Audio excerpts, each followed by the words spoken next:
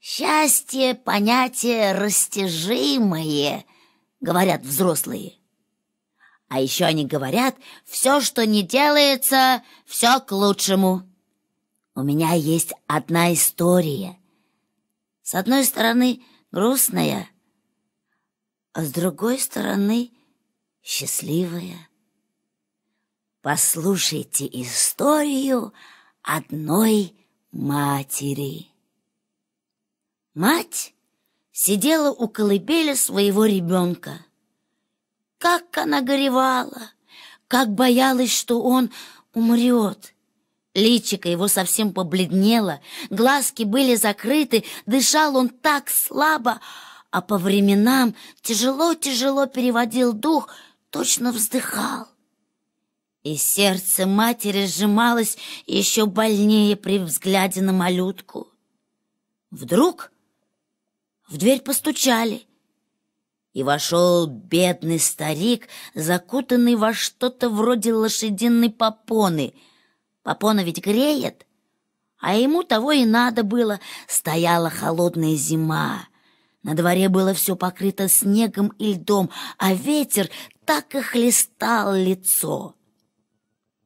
Видя, что старик дрожит от холода, а дитя задремало на минуту, Мать отошла от колыбели, чтобы налить для гостя в кружку пива и поставить его погреться в печку. Старик же в это время подсел к колыбели и стал покачивать ребенка. Мать опустилась на стул рядом, взглянула на больного ребенка, прислушалась к его тяжелому дыханию и взяла его за ручку ведь я не лишусь его, не правда ли?» — сказала она. «Господь не отнимет его у меня». Старик, это была сама смерть, как-то странно кивнул головою. Кивок этот мог означать и да, и нет.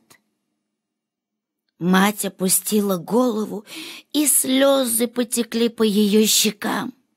Скоро голова ее отяжелела. Бедная не смыкала глаз вот уже три дня и три ночи.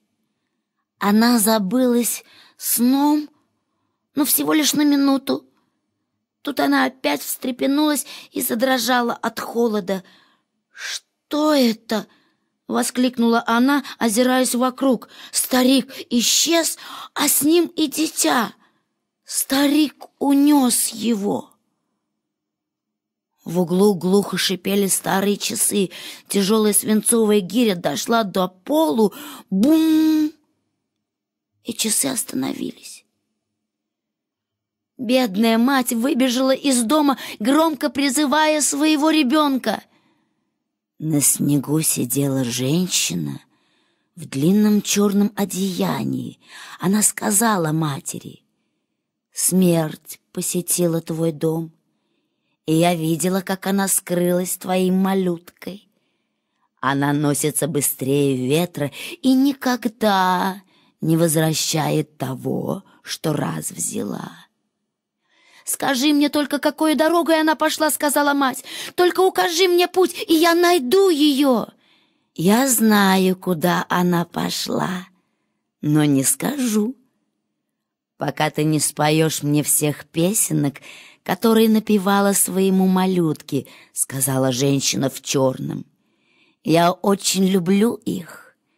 Я уже слышала их не раз. Я ведь ночь» и видела, как ты плакала, напевая их. «Я спою тебе их все, все!» — отвечала мать. «Но не задерживай меня теперь! Мне надо догнать смерть, найти моего ребенка!» Ночь молчала, и мать, ломая руки и заливаясь слезами, запела. Много было спето песен, еще больше пролито слез. И вот ночь промолвила. «Ступай направо, прямо в темный еловый лес, туда направилась смерть с твоим ребенком». Полную версию этой аудиокниги можно купить в интернет-магазине audiobook.us.